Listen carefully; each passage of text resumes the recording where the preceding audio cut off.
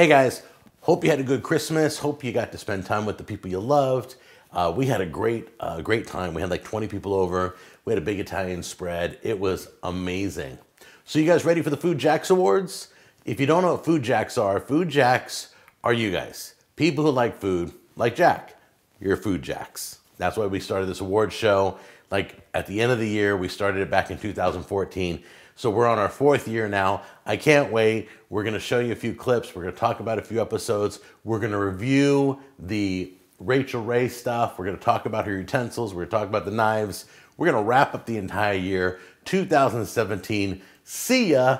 Hello, 2018. Let's get the awards started. Okay, so over the year, I've used everything here except one thing. I never used the steamer basket. This is a great looking steamer basket. Even comes with the pot lid that goes on the saucepan, also goes on the, on the steamer basket. I never used it, so I can't lay any claim to that. Uh, but everything else worked great. Everything cleaned up well. I'm gonna show you uh, the bottoms so you can see the bottom of these pans on how they did. I used all of her utensils, uh, which are also silicone. The handles are good. They held up great. Everything looks good. Um, the oval, the one thing I don't like about this set, I love the whole concept. I thought it was cool looking, but you know what? I want a round pot. I want a round skillet because when you have a round flame and only the center of an oval and you have your pot hanging over the flame, ugh, it just doesn't work right. I mean, you got to keep moving the meat and whatever you're cooking in the pan around.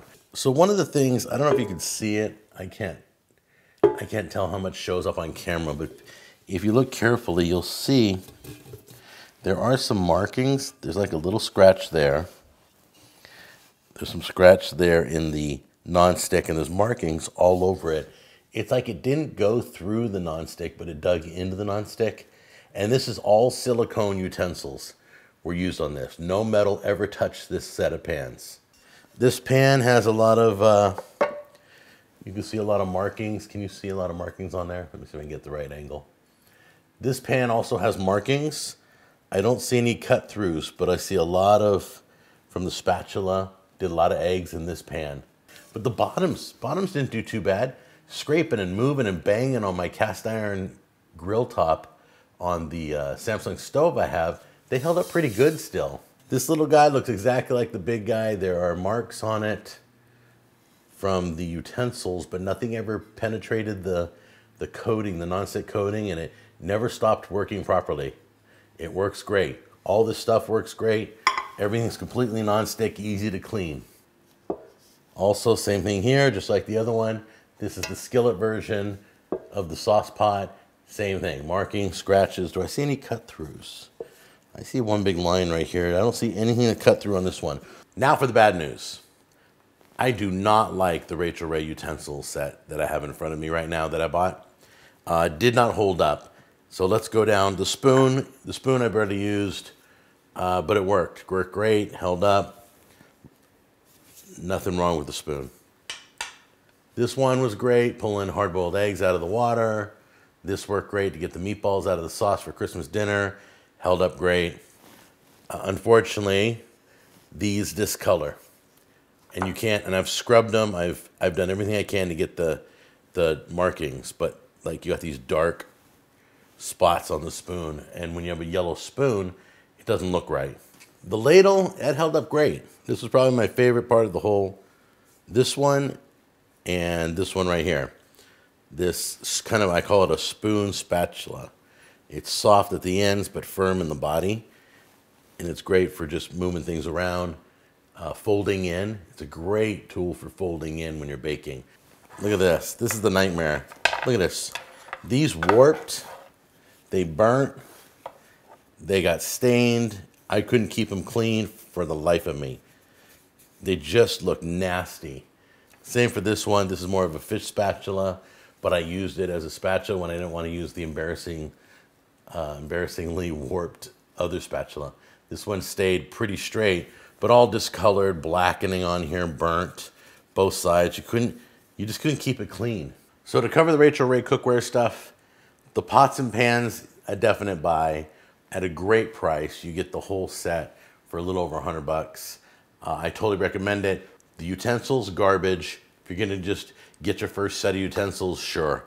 If you're just moving out, just got married or something, sure, use that. But if you really want some good quality stuff, don't buy Rachael Ray's utensils. On to knives. We did tons of knives. Usually I'll do knives the whole year, but I think I did like three sets of knives uh, this year. Right now I'm doing the Miracle Blades uh, World Series.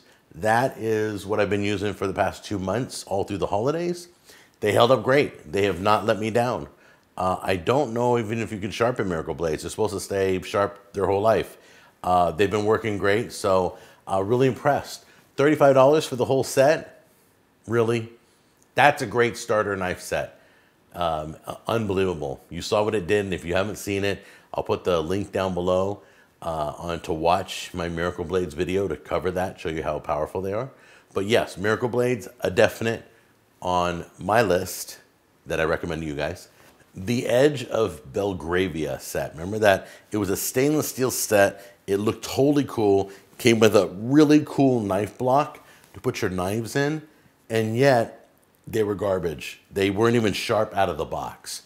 Now, some people are like, well, you know, factory knives don't need to be sharpened. Never on the history of this show in 10 years has a knife not came razor sword sharp on the show. Never until that, that set. Idealand, I think it's Idealand knife. Wasn't a big fan of that one. It didn't hold up well, sharpness wise. You had to sharpen a lot. So I really don't recommend that. It's not a bad product. Once again, it's a, I call them starter knives. If you know, if you're on a low budget, yeah, you're just gonna have to sharpen a lot more and take care of your knives. You can do it, or get the Miracle Blades. So the Idealand knife I didn't care for. You guys remember um, Zelite knives? It was uh, it was German. Was it German? I think it was German steel. It was one of my favorite sets. I might go back to that because I don't have really another knife set to, to go to just yet. But this set was one of my favorites. It held up great. The blades were great. Uh, it was good stuff. And it was called Zelite. You remember that? The people who make this knife here, I'm going to show you in a minute, are, is the factory that makes the Zelites, which I'm just crazy about. This is called the this is called the Kitory Warrior Series Chef Knife. Premium high carbon German steel. Love my German steel. Dig on it. Why do I like German steel over Japanese steel? Japanese steel is too flimsy for me. I like the weight behind a German steel when I'm cutting through, uh, even when I'm cutting through uh, small bones and stuff, it penetrates well. So this is the packaging that we saw on the Zelite brands. I love this. It just, it looks nice. It feels nice. Looks like you're getting good quality. Oh, wow, that's so light. So here it is. It says 8 inch precision forged blade with an ultra premium German steel cutting core for unrivaled performance and incredible edge retention. Wow, that was a lot. And for those of you who like a full tang, it's got a full tang all the way down the spine, all the way through the handle. Wow, it feels good, very light. Look, it's got plenty of room to get your fingers in here because I was taught this is how you hold it. Three fingers around, and then you pinch, and this is the best way to control. Hopefully I won't cut myself with this one. Let's get on to the awards. I got a whole list of awards here to give out. So the first award is the best product review. And the best product review just came two weeks ago. It has the most views of all my product reviews for 2017 it's the red copper five minute chef that exploded on me, and it has over 53,000 views. And that is a crazy device that I'll never use again. But if you haven't seen it, we'll have all your links down below uh, for all the awards. But that has been my best product review of the year. So, Red Copper, congratulations on having the most views, but sorry, your device is kind of junky. As you know, I fail at this show all the time if you've seen the show before. Uh, I make mistakes, I say wrong things, I retract them in the next video because I learned something that I did was not right. Well, one of the biggest failure videos, you ready for this? Is how to can tomatoes. Um, I showed the process, but there were two things. Number one, uh, my pressure cooker, the Power Pressure Cooker XL, has a canning button on it. and we've come to find out that they're not approved. You can do not use a canning button on your pressure cooker. And also, I didn't, the one thing I forgot to do was wipe the rim of my jars. So you saw in the video that one of the jars didn't seal. So the whole thing's kind of a disaster. Uh, I consider that my biggest failure of the year. Best food review. So sometimes we do product reviews, sometimes we review food, sometimes Jack Jr. and his girlfriend will come on and do some of the desserts because I really don't need to be trying desserts. So I let them eat that kind of stuff and tell you what it's like, or chips, or whatever. Um, so the best food review is, what is it? It's over 63,000 views. It's, you guys know what it is? The dollar ribeye steak from the Dollar Tree. When I bought that, I thought it was gonna be horrible. I hit it hard in the pan with some garlic, with some butter, and it was fine. Some people have reviewed it on YouTube and it's been nasty as ever. I'm not saying they didn't get a bad piece of meat, but mine was fine. I bought like 15 of them, cooked them up. They're almost like a ribeye Steak-umm. They're really thin. Uh, it was $1 for a piece of ribeye steak. You slap that on a sandwich, you're good to go. So congratulations for the best food review goes to the Dollar Tree's Dollar Ribeye Steak. Coming in this year at over 53,000 views on this video.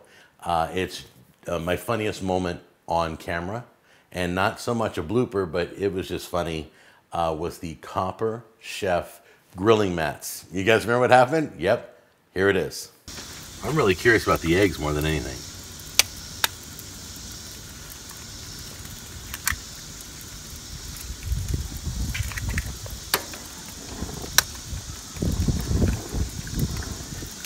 Oh, no, no, no. Oh, come on.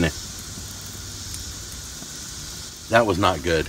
Wow, was I embarrassed over that. It just started to go and there was nothing I could do. I just sat there and watched it. All right, it's time for the most difficult recipe on the show. The one I've, over all the years, the hardest recipe I've ever done was Julia Child's beef bourguignon. Julia Child is insane. I love her to death, but she does things every step at a time. She she treats and it's brilliant. It's brilliant, but it's too time consuming and I'm too lazy. She treats every single ingredient first and takes care of it. And then she brings it all together for the final dish and, and it blends it all together however it's supposed to go. That's how she cooks. Where me, I'll just throw it in one pot and let it all cook. But uh, it was beef bourguignon was the all-time hardest over all the years. Uh, but it was amazing. The hardest this year was the Yule log. I wanted to throw it across the kitchen. I wanted to step on it. I was so angry. I didn't even want to finish the video. I almost trashed the video. And my loving wife comes in and says, let me help. And she always comes in when I'm just about ready to just lose it all. So thank you to Tammy, my lovely wife, for saving that video. And remember, frosting covers everything. So there it is. That was the Yule log video. It was painful. It was hard to do, but it was amazing. It was very similar. It has a lot of coffee flavor in it. It reminded me of tiramisu, and I love tiramisu. What is the best video of the year? You're not going to believe this. Ready? Best video for 2017, coming in at 71,431 views. How to fry the perfect egg. Are you kidding? That's one step away from how to pour a glass of milk. But I did it because there honestly are people who can't fry an egg. And that was one of the things I learned first as a kid. My mom taught me tip the pan, get under it, make sure you, you know, butter it or get some butter in the pan or whatever. It, honestly, everybody watched that video. So that was the biggest video of the year. Congratulations. How to fry the perfect egg. Link down below if you want to check that out. Now let's talk about what's coming in 2018. I got a bunch of stuff. First of all, you guys heard the announcement. If you didn't hear the announcement, the announcement video is down below. Uh, the link, all right? The announcement is I'm going on tour, Barbecue Wars Tour, Texas Edition. I'm going to be touring Dallas, Austin, San Antonio, and Houston. It's you guys remember I did one in the South? Well, Char-Grillers is sponsoring my Texas tour. It's going to be fun. And we're going to be hitting a whole bunch of restaurants. We're doing more than we did last year. So be ready. Look for me in Texas. That starts January 9th all the way through January 12th. I'll be traveling through Texas. Another thing I've been trying to do is I've been battling with shipping costs on my sauces and my aprons and my shirts and my beef jerky. International people wanting my products and they can't get it. Uh, it's so I'm working on right now. I'm almost there. Keep me in your prayers. Amazon Prime, and where it will be delivered, and we'll start with Canada and Mexico and obviously United States and see how that goes, and then we'll go hopefully international with Amazon uh, in Australia and that kind of stuff. But I'm trying to get onto Amazon Prime with all of my products. It's gonna be a slow process. First one we're gonna do is our barbecue sauce. I'll let you know when that's available on Amazon Prime, and then you guys can order it, and that'll be free shipping through Amazon Prime. Another goal 2018 is to come out with some uh, kitchen products and utensils from the Cooking with Jack show. I want to start doing some of my own things, things that I think are really hot that I use on the show all the time. Uh, I want to come out with my own my own version of it, uh, in my own colors and that kind of stuff. That's something I want to do. As you guys may know, I have a third channel that's also in YouTube partnership. It's Tech Time with Jack, and that channel link is down below. Subscribe if you haven't seen it. It's kind of like the format of the cooking show. It's a regular guy talking about technology and toys and electronics and movies and video games and all that stuff. All the things I love outside of food, uh, and it's kind of technology wise, gets talked about on that show. So subscribe to that, link down below. That's awesome. And what was the other thing I'm working on? Oh, yeah, I forgot. In 2018, I want to do more prayer for you guys. I got tons of prayer requests from you over the holidays. A lot of you went through some rough times, and I was glad you reached out to me. I just wanted you to know I was thinking about you and I was there for you, and that's important. You guys are the reason I'm here, so I like to give back a little bit. I wish more YouTubers would realize that it's because of the audience that a show exists. So I love you guys. Be safe. Have a happy, happy new year. And don't drink and drive if you drink, please. And I will see you next year with tons more videos, more mistakes, more product reviews, more amazing recipes, more fun. Thanks for watching the Cooking with Jack show. Take care.